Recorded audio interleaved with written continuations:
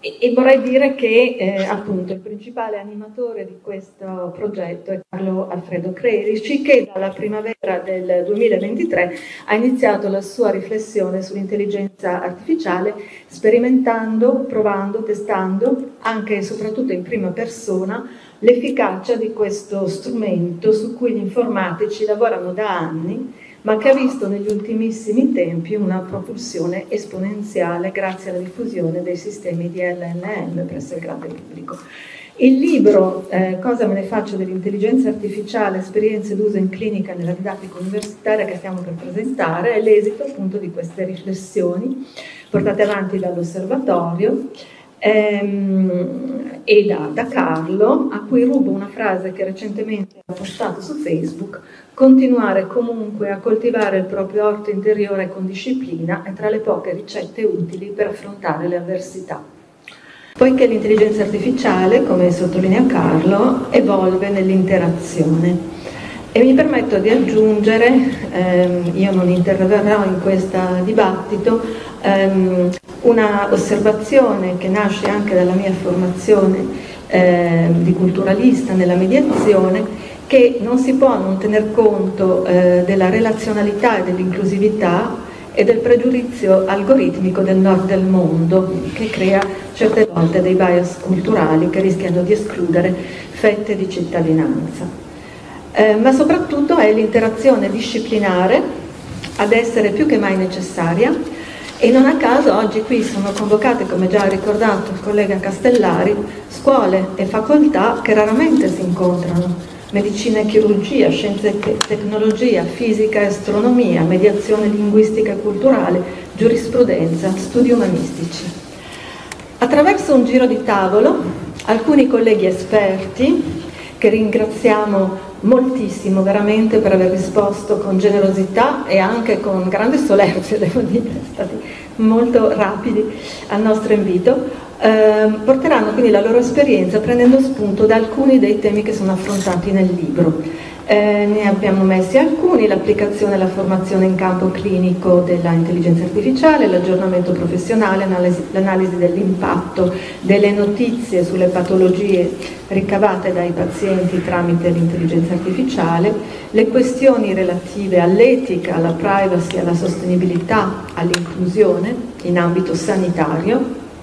le esperienze pratiche nell'utilizzo dell'intelligenza artificiale in ambito didattico, l'arte della prompt engineering e il dilemma del jailbreaking negli LLM fra libertà di ricerca e sicurezza.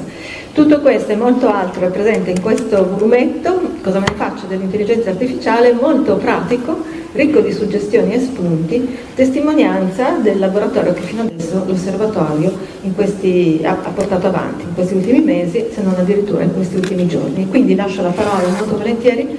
a chi ha avviato questo cantiere, eh, che è una parola che credo stia molto a cuore a Carlo, l'idea di cantiere, eh, che eh, ci auspichiamo evolverà nella interazione e nella interdisciplinarità. Quindi grazie Carlo. Allora, due parole su Carlo per chi non lo conoscesse. È medico e specialista in psicologia clinica e psicoterapeutica. Eh, psicoterapeuta, sono un po' agitata, devo dire, sono un po' emozionata, sì, mi emoziona questa cosa. È docente di eh, psicologia clinica, dunque presso il Dipartimento di Oncologia ed Emato-Oncologia dell'Università degli Studi di Milano ed è dirigente medico di primo livello presso la struttura complessa di pediatria dell'Istituto dei Tumori di Milano. È stato direttore del master di primo livello in pediatria ehm, eh, scusate, di primo livello in cure palliative rivolto alle professioni sanitarie e agli psicologi. In particolare ha studiato l'adattamento psichico alle malattie organiche in oncologia pediatrica, un settore in cui svolge da anni un'attività eh, di psicologia clinica di collegamento. Grazie, io credo di essere microfonato e quindi di riuscire a parlare con questo senza bisogno di quell'amplificazione. Eh, dicevamo la commozione, io non la lascio trasparire molto volentieri, forse come retaggio dell'educazione maschile, ma sono davvero molto commosso anche perché questa data vi è stata non fatta scegliere, ma un po' così proposta come unico finestra in cui io avevo possibilità di non essere ricoverato in ospedale. ho passato dai primi di agosto a pochi giorni fa una degenza ininterrotta all'Istituto dei Tumori per tre crisi successive da cui non, francamente non immaginavo di riuscire a recuperare. Chi mi conosce mi ha accompagnato anche con affetto, attenzione, curiosità anche per questo itinerario bizzarro, sa che ogni volta abbiamo provato un po' a scommettere in più. Quindi oggi siamo sì a parlare bene della tecnica, perché figurarsi, io sono vivo grazie alla tecnica medica, sicuramente, questo non lo, possiamo, non lo, non lo posso negare, ma non siamo tanto a celebrare trionfi quanto a chiederci in che cosa è possibile un miglioramento nella nostra pratica clinica, quindi assistenziale, nella pratica didattica dell'insegnamento e magari anche nella nostra vita quotidiana. Eh, andare contromano spesso permette di vedere le cose da una visione diversa, essere docente essere medico di solito dà un'angolazione diametralmente opposta da quella del paziente, paziente che si sente fare una diagnosi nel maggio 2023 eh, di eh, timoma, una malattia un po' strana, piuttosto singolare, e nel febbraio 2024 di recidiva metastatica diffusa. Io non immaginavo di essere vivo a Pasqua sostanzialmente. Poi Augusto Caraceni che dirige il nostro hospice sa che io sbaglio, sono un pessimo medico, ma l'orizzonte era più o meno questo. Eh, che, cosa, che, cosa, ha comportato questa, questa riflessione? Il fatto di cercare di chiedermi in che cosa abbia senso oggi, sospeso temporaneamente l'attività clinica, quale ruolo però abbia un docente, un docente della Statale di Milano, e che osservatorio mi possa offrire l'essere paziente rispetto all'organizzazione di ciò che aiuta a curare. Anche perché, visto che, come dicevo, sono qui, farò tutto quello che posso per contribuire a questo dibattito e anche ad un'azione. Quindi vi ringrazio per l'entusiasmo con cui c'è stato questo sostegno per l'osservatorio, quindi che non è una storia solo, diciamo, teorica o eh, di carriera, ma è una storia che nasce da una prospettiva di, di contatto con una realtà molto precisa. Curiosamente la storia del mio timoma è coinciso con la storia dell'affermarsi pubblico di questi sistemi di intelligenza artificiale, che in anni passati, io che ero ignorante, non faccio il professore di informatica, vedevo volare sopra la testa come macro progetti superfinanziati di omics, proteomiche, big data, quindi questioni da eh, informatici, da programmatori, da strettamente da tecnici. Mentre abbiamo a un certo punto capito, e qualcuno l'ha capito con una velocità straordinaria, il Vaticano l'ha capito eh, in anni ancora non sospetti, che questa roba riguarda tutti. Perché riguarda tutti? Perché questi sistemi, dall'essere governati da dei sacerdoti speciali che parlano un linguaggio speciale, vengono governati dalla lingua, dal linguaggio con cui si governano normalmente le relazioni. E questo è straordinario perché ci ha riportato il problema nella nostra vita quotidiana e anche delle potenzialità e la necessità di armonizzare il dialogo fra scienza e tecnica. Quindi la questione è perché siamo qui oggi fra provenienze disparate, perché l'intelligenza artificiale è anche una questione di linguaggio, moltissimo, è di dialogo tra discipline, di interazione tra essere umano e macchina e ci sono però delle barriere che sono in parte emotive. La, la divisione immediata fra chi ama la tecnologia e chi ne è terrorizzato, con una reazione evidentemente su una base irrazionale, ma anche delle basi retoriche, per cui questa tecnologia ci viene promesso che ci salverà oppure ci dannerà. E questi sono degli aspetti su cui soltanto una maggiore conoscenza ci può portare ad usare in un modo più efficace. In più, eh, questi, questi strumenti possiedono delle possibilità che sono anche in parte inaspettate, proprio perché non frutto soltanto di programmazione, ma anche frutto di qualche cosa che si modella sulla base dell'uso e quindi prende forma man mano che viene utilizzato. Bisogna dire che una questione su cui si avverte una necessità di incontro, di dibattito, è ad esempio il, la necessità di avere una bussola, se non un, una mappa per orientarsi in questo terreno. Alcuni atenei, ad esempio stranieri, parliamo del King's College di Londra, uno fra tutti, si sono mossi già in epoca molto precoce, dando linee guida, indicazioni, generalmente non proibizioni, ma dando suggerimenti e investendo informazione cioè cercando di capire che cosa si sa e cercando di svilupparlo contemporaneamente. Esempio altro Torino che ha fatto in una fase piuttosto precoce un documento piuttosto chiaro. Io questo documento non l'ho visto nel nostro Ateneo, ma evidentemente è una di quelle esigenze eh, a cui stiamo arrivando e se c'è un dibattito e appunto un'idea di cantiere, proprio perché l'idea è che alcune persone ne sanno moltissimo, ma c'è tutta una competenza, una fascia di conoscenze che si svelano, si smascherano nell'uso quotidiano.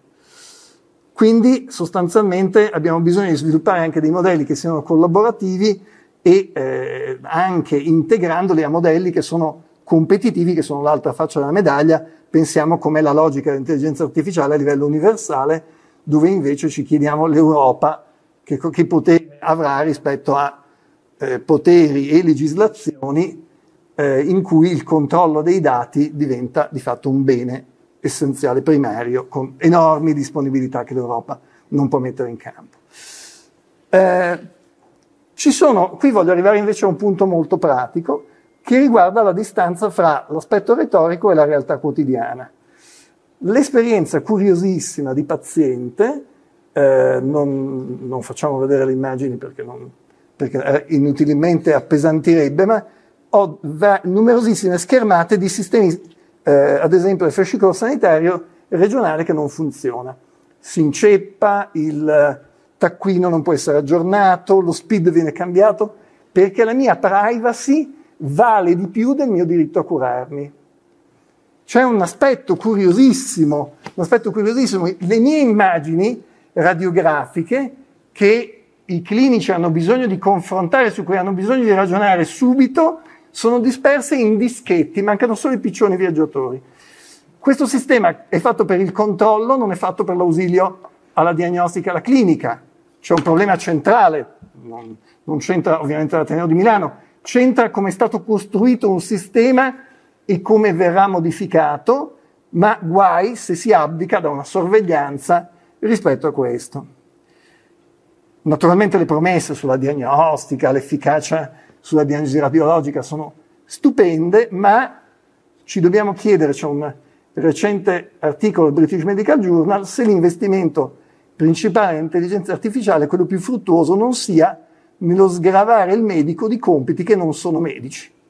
che possono essere fatti dalla macchina. Perché il medico non vuole essere sostituito da un algoritmo, ma vuole non impiegare una quantità di ore sovrabbondanti in un mestiere che medico non è. E questo è un problema di efficacia e efficienza, naturalmente che smuove e mette in movimento una riflessione, una ricostruzione di diritti, alcuni evidentemente per fortuna rivalutati sul tema del diritto alla salute, eh,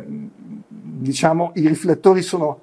sempre un po' meno puntati di quello che servirebbe, e dall'altra anche pensare che non siamo casualmente all'Università eh, Statale di Milano perché all'Università Statale di Milano, in un'epoca cupissima, adesso abbiamo altri motivi sociali di preoccupazione, ma eh, ehm, nei decenni scorsi, dopo la piaga del terrorismo, ci fu eh, questo momento della cattedra dei non credenti che unì persone di ogni tipo, di vocazione religiosa e non religiosa, animata dalla ricerca di senso sul tipo di vita e di mondo che si può costruire insieme, superando le divergenze e le divaricazioni e dove all'epoca non era cruciale il discorso della tecnologia come oggi, oggi sicuramente dobbiamo passare da questo dibattito. Quindi in queste,